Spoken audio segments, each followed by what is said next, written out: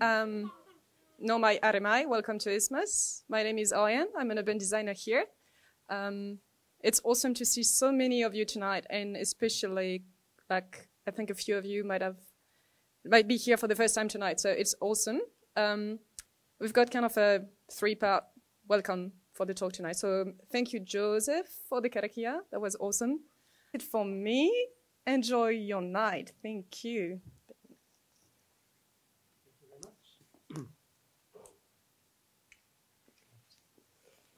Ah, tēnā koutou ko Ben van Bruggen toko ingoa.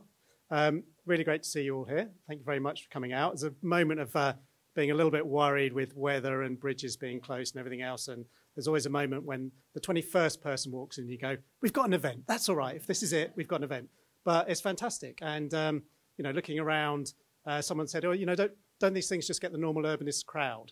And actually, there's not so many faces that I recognize and people that I know here. So it's great that actually it's, it's a, a lot more diverse crowd than a lot of the kind of urbanist sort of events get, and a much younger audience as well. So um, yeah, we've got some some budding budding urbanists in the making down here as well. And and yeah, Josie, I was looking at you. Yeah, yeah.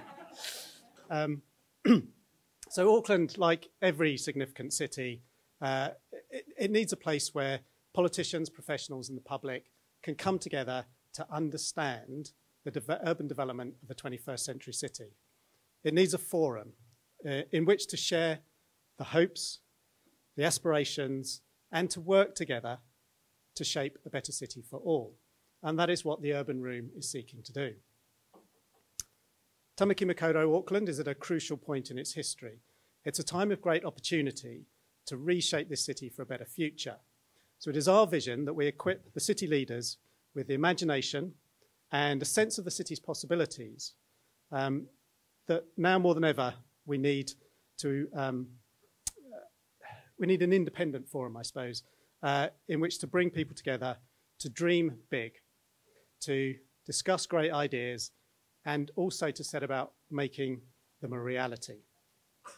So it's our mission at the Urban Room is to con convene the most talented and committed city leaders and enthusiasts to tackle some of the defining issues of this city and its built environment. We are driven by a vision for a better city. One, yeah, one that knows, one that knows where it's going, one that has a clear identity, is sustaining, secure, and just. And we're going to do this through open dialogue at the Urban Room with those talented people, marshalling them around some of their, tricky issues, but crucially giving them a vital platform in which to find solution based ideas or which to express those um, solution based ideas. And there's perhaps nothing more relevant than the economy of the city. And so it's really great that we've taken the opportunity for um, Stuart and, and Shane, who have been um, here doing, I think, was it today you were doing your, uh, yeah, who've come hot foot from a, uh, a training um, session. But um, when Stuart rang up and said, oh, you know, do you think there's any chance we might host, a, host some kind of event? I thought it was a great idea. And he said, I'll be there in two weeks. And I was like, oh, okay, all right. But um, I'm very thankful for Isthmus who stepped up and said, that they would like to host the event. So thank you very much. And then thanks to MR Cagney and VCL for um, sponsoring. Um, and then I'd also like to thank uh. Oh, it's not going to be easy with her holding this the slides. Um, yeah, so Boffa-Miskell, Resene, and Ngāti Whātua Ōrākei, who are our sort of founding corporate partners.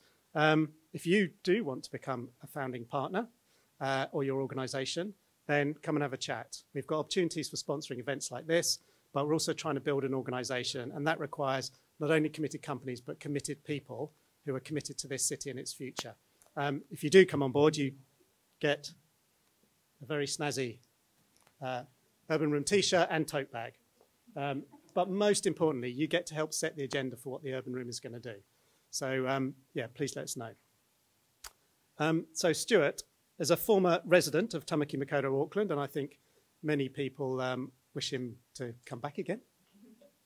Um, he spent most of the last decade living, working, and studying in Europe and in Australia, uh, especially Amsterdam and Brisbane, where he uh, currently resides. Uh, Stuart is wrapping up his PhD at the Department of Social Enterprise at Vrije University in Amsterdam, whilst also working as a consultant at Veitch Lister Consulting. Stuart's interests include spatial, transport, and urban economics, urban agglomeration economics, strategic transport, land use policy. And in recent years, Stuart has delivered uh, several short courses, like the one he delivered today, in urban economics to audiences in New Zealand, Australia, and the Netherlands. But before Stuart, we've got Shane. Uh, Shane Martin is an economist with 15 years' experience in transport and urban economics in both the United Kingdom, uh, sorry, the United States and New Zealand. Uh, he's currently MRC Cagney's principal economist, and Shane is responsible for leading work on the economic analysis and business cases and works closely with data science team. Uh, he has significant experience in modelling, sorry, in modelling the impacts of land use policies and, uh, and housing uh, in New Zealand and land use transport policies together uh, to shape cities. Before his current position at MRC, Shane was the chief economist at Auckland Council, which is where we work together.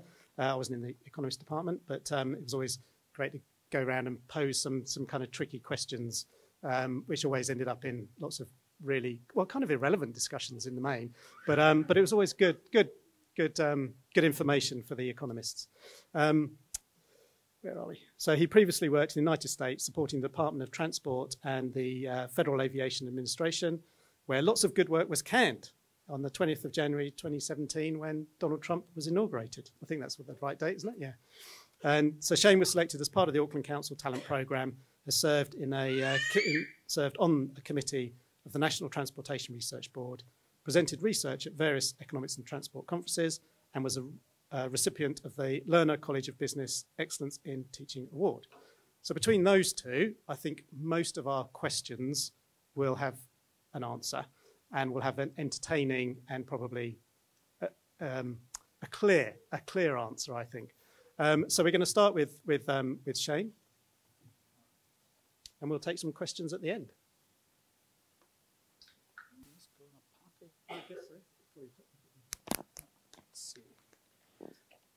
Well, thanks for having me. Um, as Ben said, my name is Shane Martin. There's what I look like when I dress up once a year. Um, and so, uh, yeah, uh, he, he, touched a bit on this, but uh, this is sort of a new new venue for me. Um, if anybody has read anything that the Auckland Council Chief Economist Unit puts out, you may have read stuff that I put out, um, usually intentionally a bit provocative uh, just to get people arguing about it, talking about it.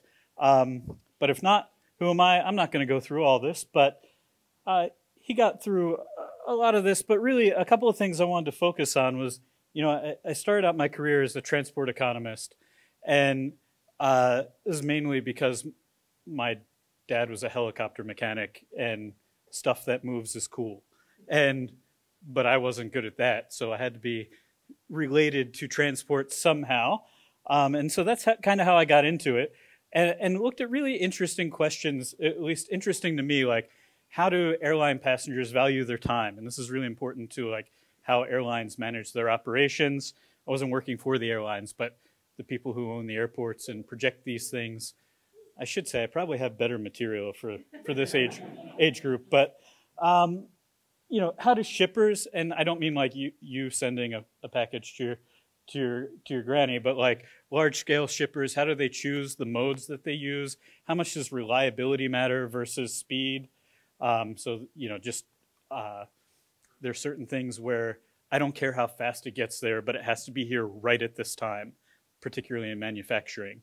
Um, we can order three months ahead, but if it's not here at 2 p.m. on this date, we're all screwed because the assembly line goes down. Um, since I moved here, uh, somewhat randomly, um, Auckland Council advertised a job that sounded really awesome and said, international applicants encouraged. And then I moved here. So um, that's how I ended up here. Uh, the work that I did there that probably got the biggest uh, amount of attention, and if anybody here knows of any of the work I've done, it's probably this, which is around the rub. Does the rural urban boundary make urban land artificially expensive? And the answer is if you think it does, I'm very stupid and my study is bad. And if you think it doesn't, this is a good piece of work that shows that this doesn't doesn't cause any problems. Um, I actually do think it's a really good piece of work. Um, sadly, like all things that are done in 2020 with 2018 data, it's 2023, and is it relevant anymore? I don't know. Um, and then I moved to MR Cagney, which is great. I bought an e-bike because that's what you do when you work at MR Cagney, and uh, uh, just been doing all sorts of really cool work. And I'm really happy to have the invite here tonight. I have a bunch of stuff I want to cover, but I'm not going to cover it in depth because I want to have time for us to have uh, professional argument at the end around, you know, good discussion, not argument. I mean, maybe argument, but um, hopefully less me talking and more you guys interacting. So I, I, I end with some what I think are kind of provocative questions. Um, future development strategies. We all love these, I think, um, because they're so clear on what needs to be done at all times. Um, not going to read this, but if you're a big city or a big place uh, in New Zealand terms, you have to have one. Um, of course, big is relative, right? Uh, I've learned that since I moved here. Um, they need to do one with some frequency. And the purpose of the FDS, and I have highlighted here because that's what I want to focus on, is to achieve a well functioning urban environment. And this is one of those things that I think we can all agree that this is a good thing. This is like politicians running on like, you know, more education, less crime. It's like, yeah, of course, we're all in favor of this. Um, uh, this is a not controversial thing that we want well functioning urban environments. I could talk about this. I will save you from this. This next one, which I won't mention, that's like a four hour talk. Um, but happy to have that one sometime. Um, this is a whole bunch of text. It was animated at some point, but no longer. Maybe not. So the NPSUD defines, thankfully, what a well functioning urban environment means because there are a few words in there that are not defined that we all know what they mean, but when you try to measure it, you're like, but how do I measure if this is enough? when you haven't said what enough is. Um, so you have to enable a variety of homes, basically that meet the needs of all kinds of people in all kinds of places and all kinds of price points. And so actually, I'll translate this for you. It's a little tongue in cheek, but ah, that was supposed to happen one at a time. Um, so have her enable a variety of sites that are suitable for business, have good accessibility for everyone to everything, um, support and limit as much as possible adverse impacts on the competitive operation of land and development markets. I think uh, if there are any, I don't know if there would be any Treasury folks in this room, I think this is the one that they spend all their time on.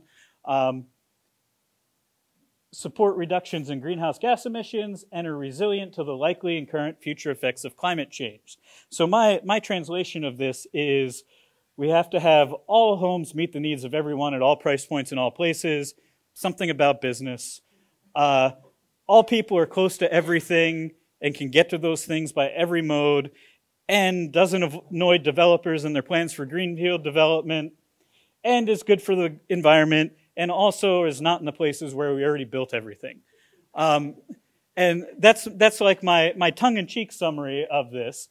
But the reason I say this, one, is because I'm an economist and this is what counts as funny. And uh, two, um, even if you think I'm being too glib, the point is that the definition of a well functioning urban environment is a really tough needle to thread, right? Uh, which means that basically any decision or thing that comes up, you can contest or can be contested either legally or in the media, which is sometimes almost even worse uh, for outcomes, um, on one of those criteria, right? Because it's really hard using my my definitions here, where to do all of these things and the idea is not that every single project needs to do all of these things, but I feel like it leaves a lot of room for, oh, but that doesn't that doesn't satisfy D, so we shouldn't do that. Or that doesn't satisfy A, so that it doesn't meet the criteria when it's really a much more holistic thing but I see it playing out as, you know, arguing about each individual thing. Um, so, like I said, it's tongue in cheek, but it's probably like 85% right. Um, so, what makes the urban environment well functioning? Um, well, all kinds of development could add to those, you know, it could make it better or worse in some ways. You don't have to agree with me on all of these. These are just some examples of like uh, new greenfield development on the fringes might provide more types and certainly by definition uh, provides more location of homes that are available um, because it's a place where homes didn't used to be. So it sort of, it by definition satisfies that. Maybe that helps with the functioning of the land market. That one is, some people feel very strongly that that is indisputably true. I'm, you know, very much, let's look at the evidence and see if that's true. But it makes things worse by those definitions as well, like having good access to stuff. Um, impacts on the environment often, and in some places, being resilient to climate change. We'll talk about one that's in the news and got lots of people upset um, in a minute. And then we have redevelopment or infill and brownfields, which that could also make the urban environment better by having really good access, like putting more people where all the stuff already is so that they don't have to drive to it, but they can walk to it. And having the density that allows good public transport. So instead of the bus running every 15 minutes, you can run it every eight minutes or whatever the thing is. Um, impacts on the environment are often better because you don't have anybody, you know, lobbying like, well, we can pave over these streams and it'll be fine. Um, and even, you know, besides that, like, it's just you're not taking up um, more space, essentially. Humans are not taking up more space because everything we do impacts the environment in some way, right? But it might be worse on some of these, like probably, or well, by definition, location, you're not making more locations of homes available. You're maybe making more homes available in a location, but you're not making a new location available. Um, and if you're not careful, the functioning of the land market.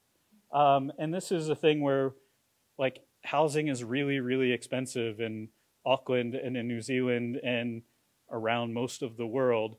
And this is just to say, like, and don't accidentally make it even more expensive if you don't have to. All right, so that's a whole bunch of stuff around what makes it well functioning and how really this is just their trade offs. So, uh, again, I'm an economist, so everything I talk about has to use the word trade offs, right? Because they exist. If you do one thing, that means you can't do another usually.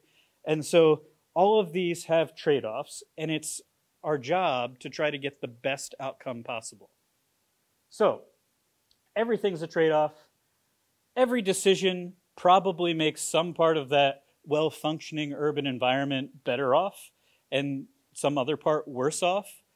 But what I would say, it's clear, and this is a weirdly worded sentence, so I'm going to read it. So you, I read it wrong three times, um, and I wrote it. So, you know, it's clear we shouldn't be opposing greenfield development and brownfield development, which is what I feel some of the conversation is. Is like, uh, what?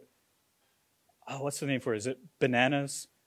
The people who are bananas, right? Build absolutely nothing anywhere near anybody? Yes. So uh, you have that group, which is like, yep, I don't want the city to expand, but I also don't want anybody else moving near me um, or anyone else. So we can't do both of those things and still grow and thrive as a city. Um, none of this is profound. This is just me laying it out, right? All right, so Auckland's new out for consult- consultation FDS. So Auckland has a future development strategy and there's one part of it that I find particularly interesting. I'd be lying if I told you I read the whole thing because it's a future development strategy, and I'm sure whoever wrote it worked really hard on it, but it's a future development strategy and it's not light reading. Um, but this is the part that I found most interesting, is this map. Um, because this has the proposed changes from the old future development strategy right? So there's changes in timing And then there's this one down here, like recommended for further investigation, which I assume it's like, well, we haven't figured out what we're going to do there yet. And then there's this other one that I find I think is going to be most problematic publicly, um, and I don't think anybody would disagree, is proposed area for removal. So I'm going to focus in on one of them. That was also much cooler when the animations were there. Um, zoomed in, that's a really terrible resolution, but that's Takanini. Uh, it's roughly this area. Um, if I could, I'll pick on politicians a little bit because fair game, right? If you're flying in from Wellington and you're like, oh, there's a bunch of houses up there and a bunch down there, and there's nothing there in the middle, why don't we put some houses there? That seems like a good idea. Obviously, oversimplifying, but when you do look on a map, that's what you see, right? There's this big empty area. And so we zoom in on that. And then we overlay the old future development strategy. All the gray is stuff that already exists. The green is open space. And this orange right here, hey, you see this right here? That is the future urban area that was proposed before. Now, when I had just started at Auckland Council, fresh off the off the plane, I guess, from the U.S., incidentally, six years ago today, to the date, um, it was weird having my second day of work being Independence Day for U.S. and all my family is like out in the barbecue and I'm in the rain at work. But um, so that is the future urban area that was proposed. And I'm going to do something that I did one of my first times looking at geomaps, and I overlaid the floodplain. And you guys might know where this is headed, but this is the floodplain for that area. And my first thought was, not knowing anything about the politics of all this, of like, ooh, does that really seem like the best place to put a bunch of houses?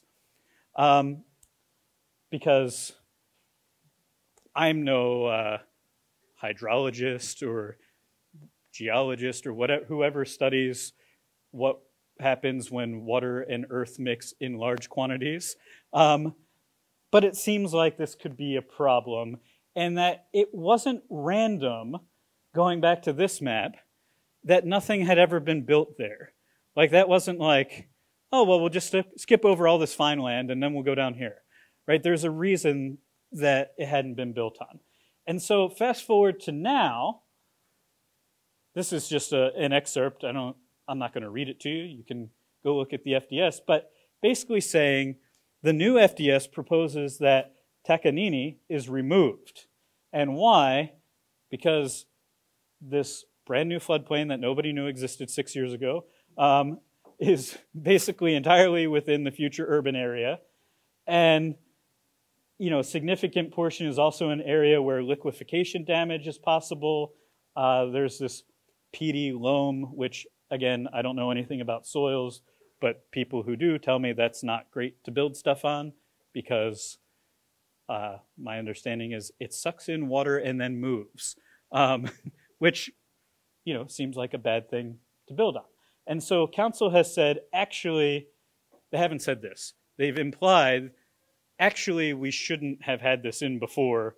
We should take it out um, because it's going to be incredibly expensive to put houses on a floodplain that looks like that. Anyway, um, that's not to say it couldn't be mitigated. This is not a question around should we, but could we? Humans are capable of doing lots of things that we probably shouldn't do. And I have no doubt that we could mitigate those, those risks to some extent. But the issue is around cost. You might have heard that like Auckland and Auckland Council don't have an infinite amount of money it's been in the news, right? Um, should we be spending this money on this when you can get lots of development in other places? I think that's why that's in here. Anyway, the economist in me, so apologies, says, oh, if you just priced everything properly, it'd take care of itself. Right? So if it costs $600,000, totally made up number, by the way, please do not quote that, uh, per dwelling to deal with stormwater in Takanini, yeah, fine. charge the developer $600,000 a dwelling, and they'll say, no thanks, not going to build that. And you don't have to say nobody can build there because nobody will build there because it's too expensive. Um, but this isn't how the real world works with uncertainty and lawyers and cashed up landowners and uh, folks like that. Because nobody can say with 100% certainty, believe me, I understand. This is like, um, nobody can say, I would have brought magic tricks had I known this was.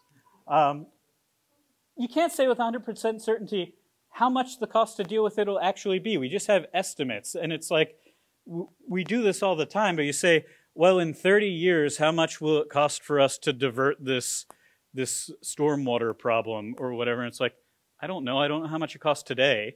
I have an idea. 30 years from now, who knows? Um, how many houses would be built there? When would they be built? How bad will the problem be once everything is built? We can't say that with 100% certainty. So, kind of what always happens, this is my, my view or reckoning. I don't have a, a, a solid piece of data for this, but developers, existing ratepayers, the government, everybody else ends up sharing the risk. And then when things go bad, everybody pays to fix it. Um, and we're trying to avoid that. All right, so let's talk about infrastructure. I'm going to go through this really quick. Again, this is not profound when you read about infrastructure in the news, I often think they're just talking about these things.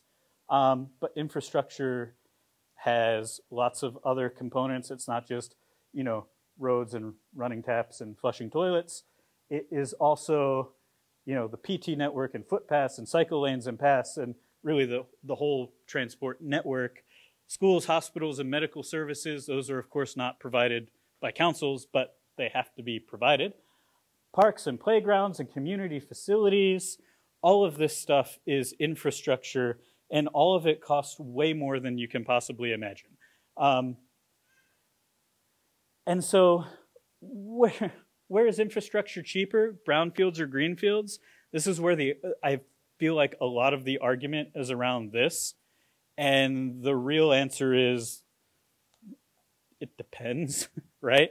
Uh, it depends on what kind of infrastructure we're talking about and where, and what's the time frame, and also who pays for it. Uh, every paper I wrote at Auckland Council could just have this in the title. Everyone wants it, nobody wants to pay for it, and will say why it should exist, but they shouldn't have to pay. Um, that's human nature. I also think that. That I would be very happy if we all, if I had nice things, but all of you paid for it. Um, and you would all be happy if you paid nothing and everybody else paid for it, but then we would pay zero and nobody would get anything. All right, so brownfield development, this is really where I wanted to get, and I think close to the end. In places where there's latent capacity in existing infrastructure, we don't have to build a bunch of new stuff. That's the technical term. Um, but if there's if there's available infrastructure in a place that's not being fully used, again, not a profound statement, um, we should use it. It's more cost effective to do that. Uh, one of the big problems with this is actually figuring out what infrastructure is there, what shape it's in, how big it is, and how much capacity there is. Uh, if new infrastructure, particularly three water stuff, is needed, honestly, brownfield is probably more expensive than greenfields because in greenfields you don't have to tear up roads and uh, disrupt things. But lots of other types of infrastructure are um, less expensive to provide in brownfield areas. That's a unclear what I meant there, but well, not to me, to you. Um, lots of other types of infrastructure can be less expensive to provide in brownfield infill areas like transport and social and community services, all those other sorts of infrastructure. Um, we shouldn't be basing our decisions on how much it costs to provide one or a couple of types of infrastructure, and that's kind of where I see the conversation going. This is again just kind of professional opinion. Like I don't, I didn't go through and scrape the, you know, the data from NZ Herald and stuff and make a graph, though I'm sure somebody on my team could do that in like a half a day. I should have asked him to do that. Um, but we shouldn't be making decisions just on like, what's it cost to put three waters in? Uh, brownfield development makes PT, again, this is probably preaching to the choir here, but uh, on a lot of these, but makes public transport access to basically everything much more viable because when you gather people together, it's much easier to provide them services. This is why uh, Auckland, for the amounts that you pay in rates, you get a much higher level of service than if you live somewhere rural, right? Where basically there's probably a library and three water service, not everything that you get at Auckland Council from Auckland Council, which is not to say they couldn't do a better job doing certain things, but your value for money is much better in a denser area than in a spread out area. All right. So how do we get more brownfield development? I think this is my last slide. This is the one where I hope we get to argue or whatever. Um, you should allow it in the most desirable places. Probably not restrict heights to those that are commercially infeasible. The reason I mention this is I have the I have to I get to talk to lots of developers and uh, they all say the same thing that like once you go above a certain height it gets really expensive because you have to put lift shafts in and you have to change your type of construction. And that typically is when you go above three stories. But if you only allow them to go to five stories, there's hardly any units to spread that over. And they need to go to 10, really, to make it work economically. Um, and I believe that, right? And when you restrict the heights, you often get nothing, or you get three story walk ups that will be there for the next 50 to 70 years when you could have gotten something more dense. Um, third one, don't plan to put in train lines and keep everything nearby single house zone. Just in theory, if somebody were to propose such a thing, that'd probably not be the best idea. Um, stop subsidizing greenfield development. Uh, despite what you might read, it is subsidized um, pretty heavily. Make sure we consider externalities sorry I used that word as I'm an economist. So all the bad stuff that comes with it. All right. So uh, make sure you consider like increased greenhouse gases and all that congestion. Um, this one I was hoping we'd get some argument about, right? Stop trying to freeze vast swathes of the city in a moment in time. Um, this is not me being anti heritage. This is me just hoping to get people excited to talk about it. And provide better PT and active mode options. So these are all the things that we can do to get more brownfield development because those some of the big ticket items like the three waters often do appear to be cheaper in greenfield areas, but of course it's easier to put a pipe in a sheep paddock than it is to put one down the middle of a road where people already live. Like that's not that's an extreme example, but that's kind of what's going on. But what does it cost to put all the other stuff out in the sheep paddock that's already here or that we have good capacity to provide. And so these are just, I mean, these are just talking points. I'm not even saying necessarily I believe all these things. Some are purely hypothetical, and I won't tell you which ones. But um, yeah, I'm going to stop there. But really, this is just about, I know council in particular is pretty nervous about the new future development strategy particularly around the removal of certain future urban areas. And it, uh, nobody there has said this to me, but this is me reading be- between the lines of like, kind of admitting that like those shouldn't have been in there to begin with. And so that's why we're going to take them out. But it's really hard to unring that bell. And we can probably all guess why, right?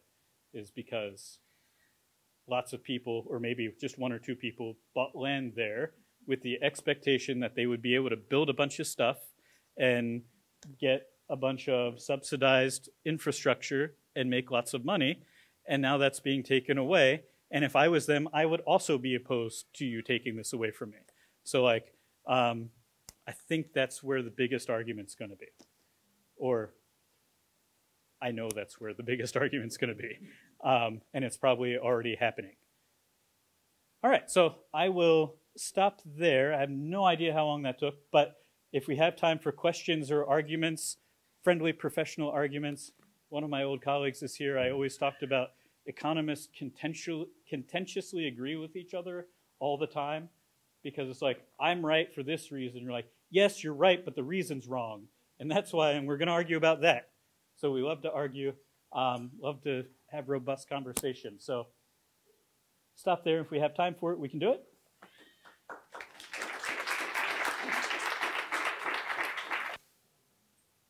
Cool. All right. Hope you can all hear me at the back. Um, thanks, Shane. Thanks, Ben. Thanks, Isthmus, for having us. It's wonderful to be here. Last time I was at an Isthmus event, it was on the other, uh, at the old office, and I actually went there first. So, um, yeah, I'm a bit old. Um, so today, um, Shane's got the best words. You might have noticed that. I've decided to show you some pictures. And it's going to be um, at a high level of altitude, I would say, almost from space, actually, a lot of them, and I hope that's okay. So I'm going to try and shock you out of your happy little Auckland bubble um, and uh, give you some insights that I think are useful to keep in the back of your mind. Um, and I'll try and highlight why I think they're useful. So the big push, I'll talk about the big push first, um, and then the gradual pull, and then I'll finish by talking about how we might sort it out. All right, the big push. You say potato, I say urbanization. And you might think those two things are unrelated, but they're very closely related if you go back a couple of hundred years, right? So recent urban economics research has found that locations in Europe that were more suited to growing potatoes experienced stronger population growth and higher rates of urbanization. What I'm trying to convince you of here is that what happens in our cities is very, very closely linked to what happens in the rural economy. Those two things have, have been intrinsically linked for hundreds of years. And it's still going on in different ways, this sort of wider structural economic transformation. What, what do you think might be the effects of I should say, it should be clear here. What the potato did is it increased the labor productivity of agricultural areas. So we could produce more food with fewer people. And those people moved to the cities, right? So they were pushed into the cities by increased labor productivity. That process is still happening now. And it looks like this in the New Zealand context. In the Australian context, if I was giving this at home, this presentation, I'd show a picture of a mine, right? Now, mines and these sorts of dairy processing plants are very productive locations, but they don't offer many jobs. The car park here is relatively small. It looks like about 100 cars, right? And this, this, like, this dairy factory, this dairy processing plant probably services a really large area. I think it's in the Bay of Plenty. That process has been happening for a while. Some clever people, far cleverer than me, writing at the time of the Industrial Revolution in about the 1840s. This is, uh, I think his name's Engels. Some people might know him. Um, he described England's cities and towns as homes for the superfluous rural population. And I mention this because I think often when you have a relatively sort of recent perspective, because we all focus on what's happening now, right? We think that cities have always been winning, you know? That cities are attracting people because they're just great places to be. And the reality is that there's a, there's a double edged sword going on. Cities are partly attracting people because there's simply no jobs in rural areas anymore. So this graph shows um, sectoral composition in the US. It's very similar for the Australia, by the way. I haven't looked at New Zealand, but I would not expect anything different. Services have grown from about 50% of the workforce in 1900s up to about 85 in 2010. Mining, agriculture, and manufacturing all together now total only about 10%. Um, and you can see you can see that here as well. So basically, if you grow up in a rural area like I did, it's actually quite hard to get work there in a lot of ways. Okay. Now, those economic processes, they operate at a global spatial scale. So these forces are happening all around the world, more or less, different levels. Um, but you see the same, the same trends. Um, this is a graph of the share of population living in urban areas and versus uh, log of GDP per capita. And now that we've been through a COVID pandemic, we all know how to read log scales, right? So basically, a positive relationship between GDP per capita and the share of population living in urban areas. Um, where do you think New Zealand and Australia fit on this graph? Do you think we're, we fit the trend or are we a bit weird? We're exactly where you, you think we would be. We're exactly in the middle of the graph. So basically, the urban, the relationship between urbanization and uh, economic levels of economic activity, um, we are not different from what you would expect. Basically, we're very normal, actually. We're a passionless urban people. Um, basically the rural population in New Zealand. We're actually, our rural areas are, here are doing better than many countries. Actually, um, rural, rural populations in many places is falling.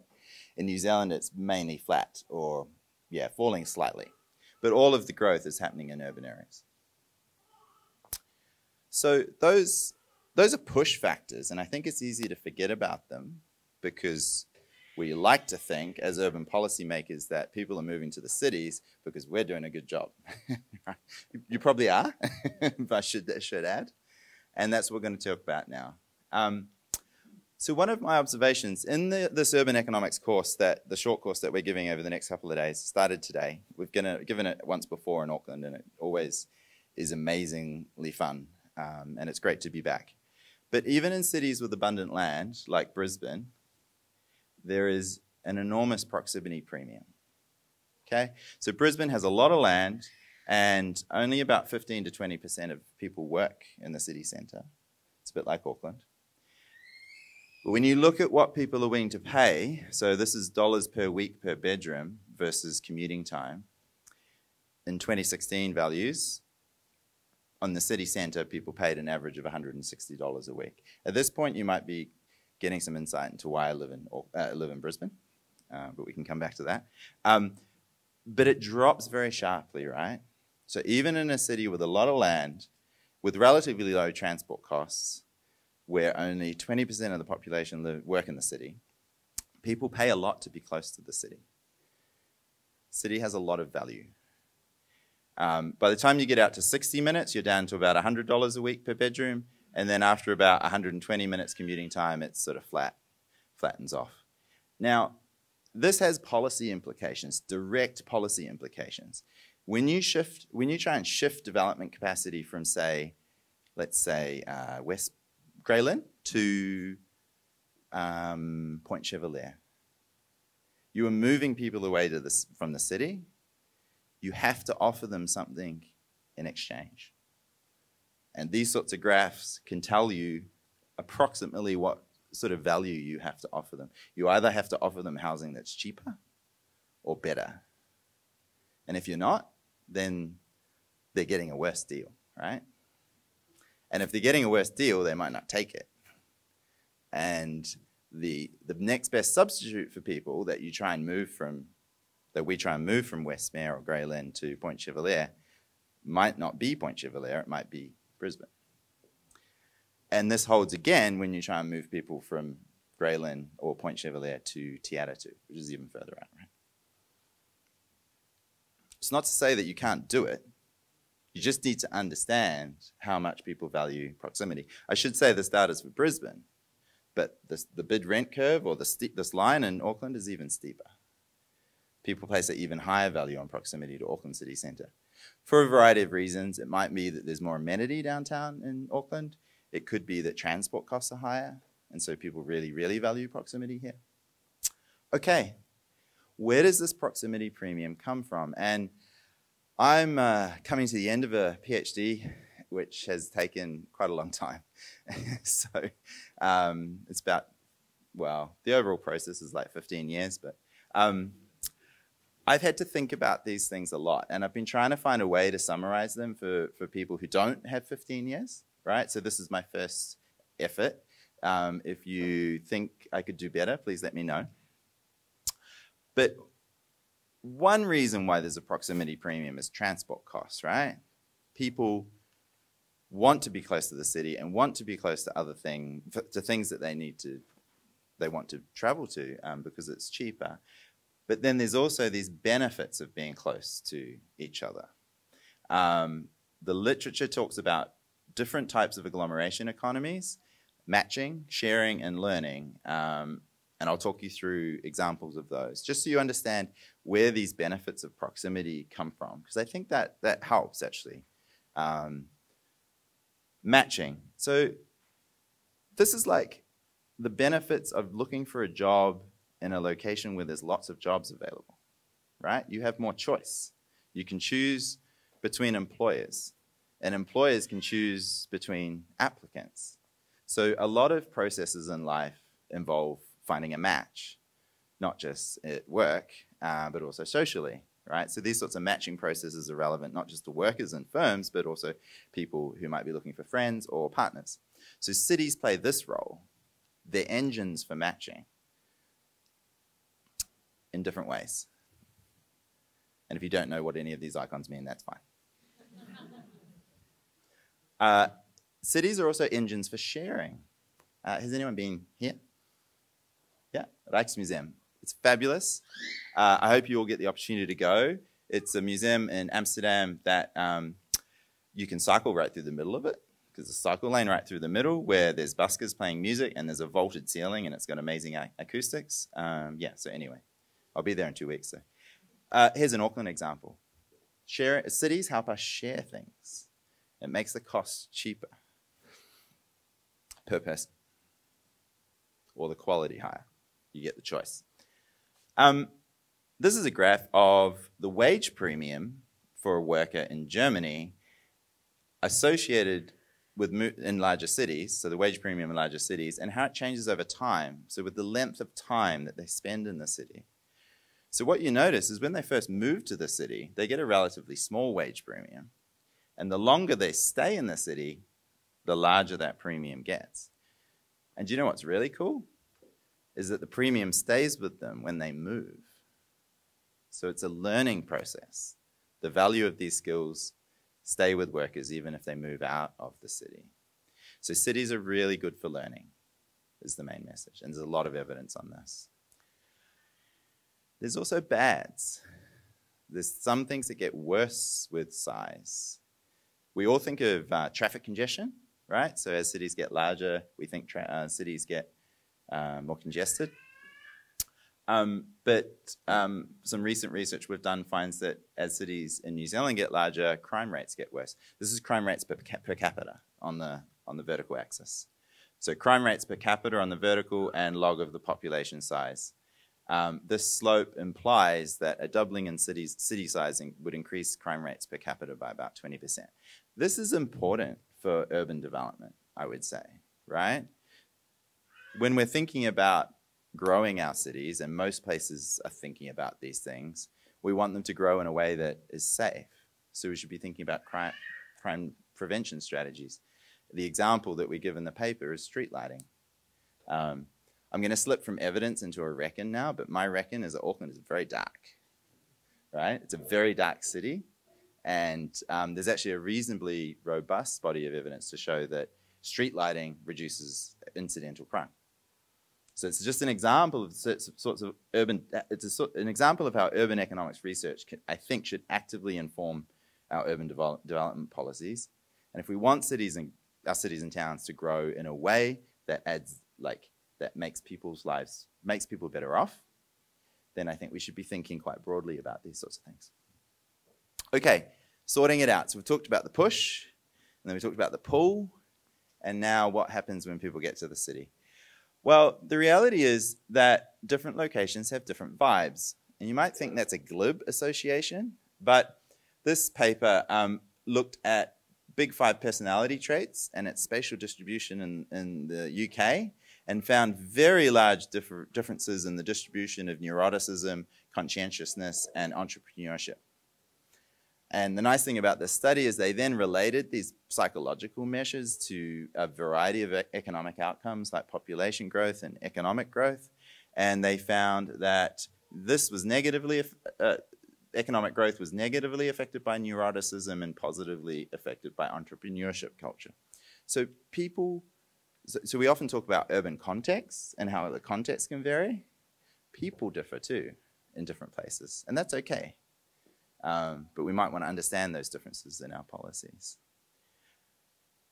This paper looks at the effects, the effects of historical pollution from coal on the distribution of low skilled workers in cities in the UK. And it's an incredible paper. It shows that the question that, that, that, they ask at the beginning of the paper is why do so many cities in the UK have an East End?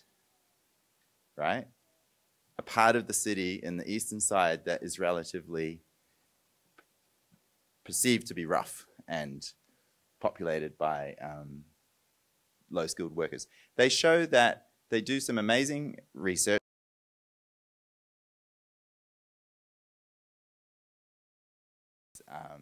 More attractive for everybody. Here's another example from the Netherlands. So they observed that in these locations, these neighborhoods that have a lot of social housing, the property values were lower. So um, this is their control, and the dashed line is these neighborhoods and there was a gap, and they were like, let's randomly select some of these locations to invest in the quality of the social housing. And they went in there and they invested in improving the quality of the social housing. What they found after they intervened was that um, the gap disappeared. This is the price of private housing in these neighborhoods.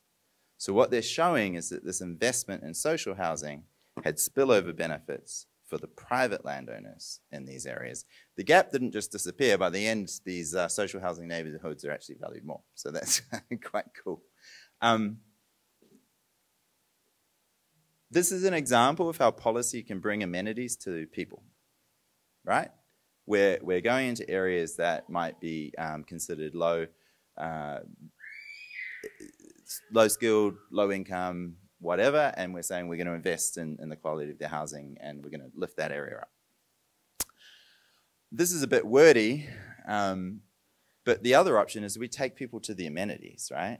And you can do that with transport. It's a little bit of an imperfect substitute. This study um, from the US, it was an amazing program called Moving to Opportunity. If anyone hasn't heard of it, I recommend you look it up. They offered vouchers to a bunch of people who were on welfare um, the program was oversubscribed, so they randomly selected people to, to get the vouchers, and they were able to use these housing vouchers to move from their high poverty area to a low poverty area, right? And then they, they tracked their outcomes over time. This abstract kind of understates it. Where they say we find that moving to a lower poverty neighborhood when young, before the age of 13, increases these outcomes, the earnings were like 30% higher for people who moved from high poverty to low poverty. That's enormous. I can't think of any other socio-economic intervention. Now, obviously, there's a lot of things bundled in here, right? Like, especially in the US, you have relatively large differences in school school quality and school investment. So, the next stage of this sort of research is trying to unpack what contributed most to those improvements in outcomes. And that's going to be really useful for, for policy. But, you know, this is huge. Um, it's a huge problem and also an opportunity if you're going to do glass half full. Okay, summary. And then we can throw it open to questions. Um, so the push, what I'm really trying to impress on you is that urbanization partly reflects long-running changes in the structure of the global economy that are pushing people into cities. Okay? big stuff beyond our control. I know we like to focus on Brisbane and Auckland and think about what we're doing, but um, to some extent, we're still responding to these to these forces. They're somewhat beyond our control. The pull, um, transport costs. Obviously, we want to, you know, people want to be close to things to, to because it's uh, lower transport costs. There's also these agglomeration economies, um, and that gives rise to a proximity premium that pulls people into cities. But there's also bads, and and I gave the example of crime um, as well as uh, congestion and traffic congestion, which I'm sure you all know about. And this final point about sort, once people and firms move into cities, they will sort across locations. Now, some of that sorting is fine. You know, people who like beaches might sort to beaches, and people with children might sort to be close to schools. That sort of sorting is fine. But when the sorting, the sorting can go too far, right? So there may be sorting driven by differences in income, which might not be optimal or ideal from a policy perspective. So we need to look at our cities and understand, you know, what's driving the sorting? Is it is it just differences in preferences, or is it differences in income? Um, worth mentioning here that political processes can reinforce the sorting in really unhealthy ways. Um, I remember reading once about a proposed development in Ōrākei where the, a person at a public meeting stood up and said, the sorts of people who live in apartments are not the sorts of people who live in Ōrākei. Now that was 2007. I'd like to think we've gone, we've progressed since then, but you know, glass half full. Um, what's that? no. Um, someone else famous. Um, these sorts of, so our local government processes can actually amplify the sorting process in really unhealthy ways, right? So you get people with preferences for certain things and high income moving into areas, they seize the levers of power, and then they prevent other people from moving in. There's a, there's can be a very unhealthy dynamic feedback in sorting. And so I think you really need to watch it closely. It's not all bad, but it can be bad. Um, just a footnote here. Um, you might wonder whether Australia is sensitive to some of these problems, but you've got to keep in mind that we have compulsory voting, and so we get 95% turnout in local government elections. So when you wonder why Queensland in particular has had relatively better housing outcomes over time in terms of building housing, I think that helps you understand why. Um, final comment. This is a nut that I think Shane alluded to in his, in his talk um, that I'm still grappling with. But as an economist, we want to combine, you know, with an urban economic lens, I think we want to combine really flexible housing supply with certainty around infrastructure. And how you do that, I don't quite know. because it's imp- I think we need to. Many objections to policies to allow more housing often point to perceived or real inadequacies in uh, the supply of infrastructure. Obviously, you don't know if people are telling you the truth, but let's just take it at face value. One thing I will say that I think economists haven't communicated well is how better price signals, for example, congestion and parking pricing, they help to align the demand for and the supply of infrastructure. They help those two things to match up, right? So you're, you're setting your congestion pricing, you're setting your parking prices so that you don't get in, enormous congestion on your roads and you don't get excessive demand for parking so that people can't find can't find parking. And they generate revenue that where you do see high demand, you can try and provide more of what people want or something else that is good, like you know public transport improvements or active modes. So I think there's a there's a political economy hook. Now I know price signals are very uh, controversial often, and there's no guarantee that the people who oppose housing will necessarily support these price signals. But I think we should try. I think we should try. And I think it might help our efforts to boost housing supply if we find a way to, to improve the way we deliver infrastructure, broadly speaking, not just network infrastructure, but social infrastructure. And that's it. That's all I got. So I hope that was worth your evening. Thank you very much. Thank you. That was uh, excellent stuff. Um, I think there's a one of the takeouts is about this integration point is that we're probably not having enough of those conversations that have a slightly broader aspect to how we deliver things like a future development strategy. Um, but I'd thank Oriane for hosting us and being involved in things. Thank you very much. And just finally to uh, thank Isthmus, thanks MRC and VLC uh, for their contribution in supporting us as well. That's really important. And thank you all for turning out on a, on a very windy, windy yeah. kind of night.